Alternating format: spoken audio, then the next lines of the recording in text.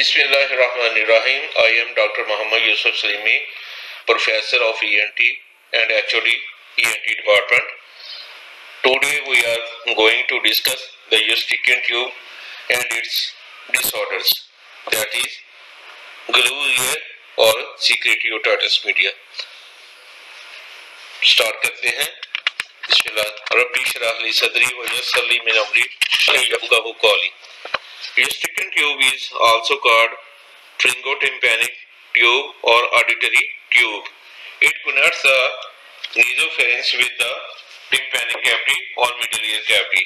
We have already discussed in the anatomy of the middle ear that there are two openings on the anterior wall of the middle ear cavity. The upper one is for tensor tympani muscle and the lower one is for the Eustachian tube and its medial end opens on the lateral wall of the uh, nasopharynx 1.5 centimeter from the inferior turbinate. It connects between these two structures. It is divided into two parts, bony and fibrocartilaginous. The part which is towards tympanic cavity that is bony and the part which is towards the nasopharynx is fibrocartilaginous. Three muscles are attached to the Eustachian tube. You should know the name of these muscles. These muscles are tensor veli tympani, palatini, levator veli palatini, and salpingopharyngeus. In infants, Eustachian tube is wider, shorter, and more horizontal. So, when the patient comes to the ENT consultant and describe about the complaint of the middle ear cavity, we should advise that the baby should be fed in the upright position because of these finding because your Eustachian tube is wider and shorter. So the patient should feed in the upward position.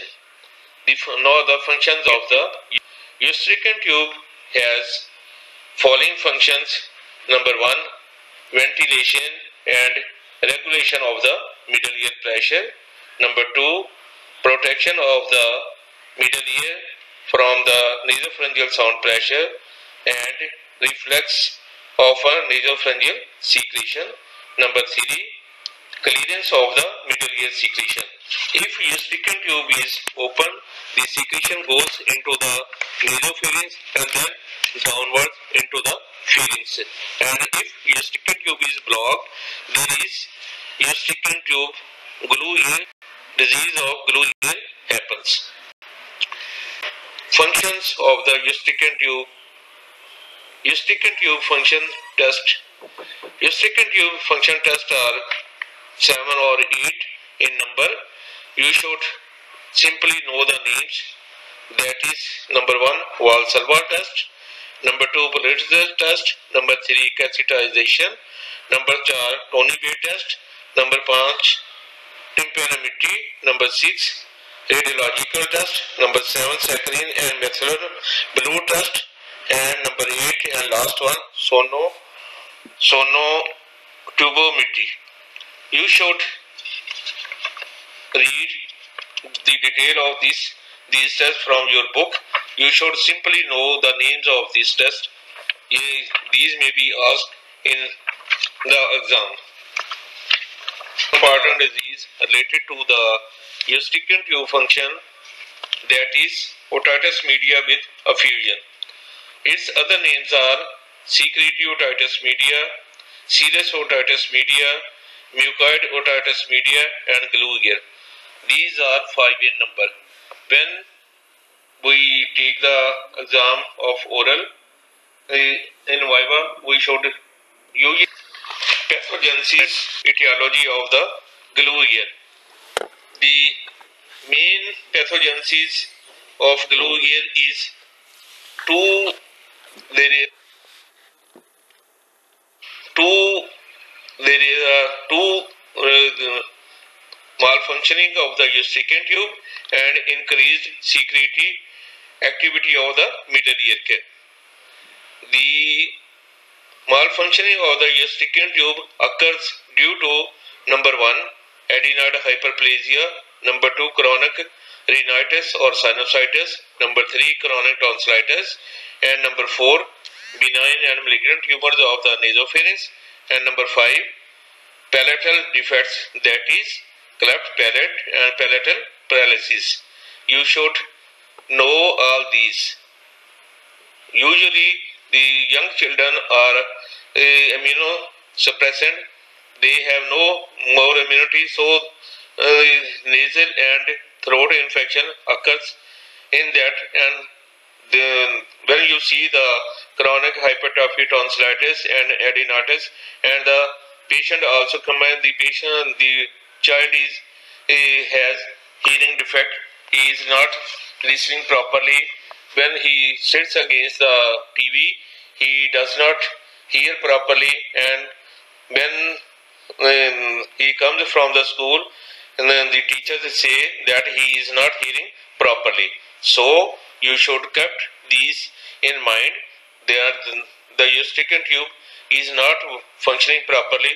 So these disease occur glue the second one the, uh, the second one is increased secretory activity of the middle ear.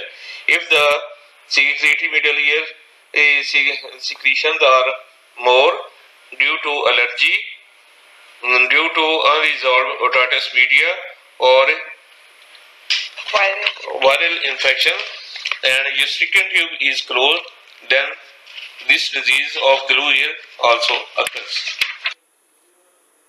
clinical features of the glue ear. It is divided into symptoms and signs. Symptoms. There is disease. This is the disease of children of 5 to 8 years old causing hearing loss insidious in onset and rarely exceed 40 decibel. When you see the audiogram of the patient, you should mm, see that there is conductive deafness of 40 decibel. Okay? And uh, the second one is delayed and defective speech. Due to not proper hearing, the speech is also delayed. And the number three is there is bile earache. Patients, um, parents complain that the child has uh, frequent attacks of earache and know the signs or otoscopic finding of the glue. These are very important. These are asked in the Viva question and also in the uh, theory. These one are number one, tympanic membrane is often dull and opaque with loss of light and flesh. Normally, the tympanic membrane is shiny and whitish in color, but in glue ear, it is it is uh, dull and opaque. And number two, there is lighter reflex.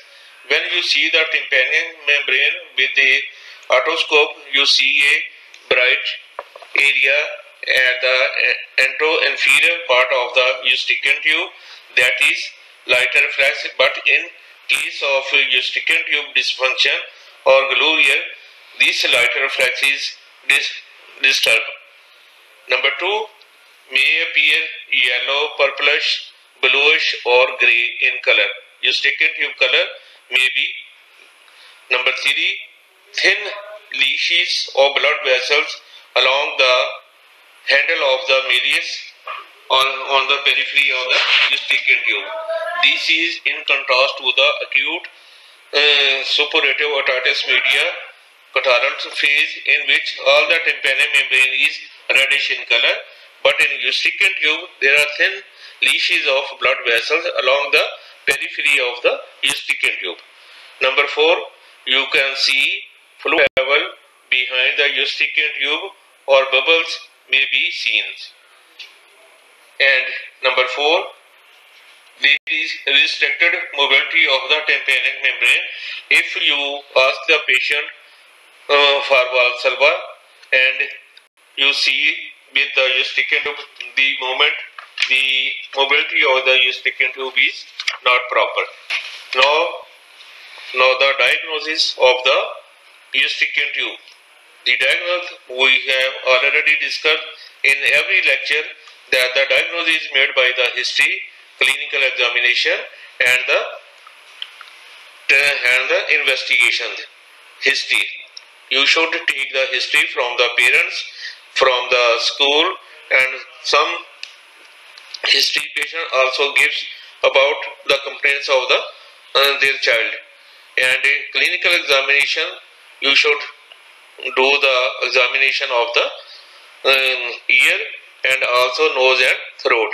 And investigation as we already discussed there are routine investigation blood complete examination urine complete examination x-ray chest and the specific investigation. In specific investigation the there should be tuning fork test. It shows conductive hearing loss. We should do the Rinne test Weber test or ABC test and these three tuning fork tests show conductive type of not sensory neural conductive type of hearing loss. Number two test that is audiometry audiometry is we perform a test which is called by the audiometer the instrument which we do the audiometry the instrument is called audiometer audiometer it also confirm the conductive hearing loss 20 to 40 decibel. Number 3 impedance audiometry.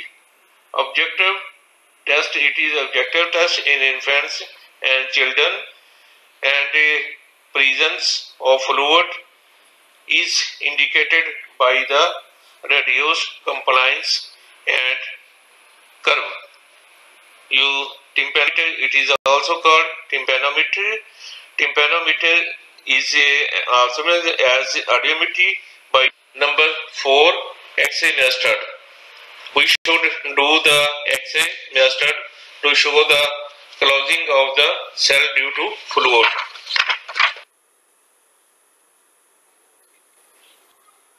Now the last part of the disease is the treatment. The treatment as we discussed every topic the treatment is medical treatment and surgical treatment. Medical treatment decongestant, anti-allergic, antibiotics and middle ear aeration by repeatedly performing Valsalva maneuver. The second one is surgical treatment. In surgical treatment there is myringotomy and fluid aspiration, grommet insertion, and tympanotomy or cortical mastoidectomy and surgical treatment of the carotid disease that is the disease in the uh, nose and the throat. That is if chronic hypertrophic tonsillitis are present then you should do the tonsillectomy operation. And if adenoid are also present then you should do the adenoidectomy. And for uh, you should give the treatment of the sinusitis or rhinitis. The surgical, surgical treatment, we make the incision in the tympanic membrane. The tympanic membrane is incision is given along the endoinferior part of the uh, tympanic membrane and stick tube uh, and, a, and a fluid behind the uh, stick uh, uh, tympanic membrane is aspirated by the section section okay and then a grommet is inserted uh, in the incision given. If you uh, do uh, only say that the myringotomy and aspiration of the fluid is wrong. You should, it may occur repeatedly, so you should put the grommet in the, in the MCQ this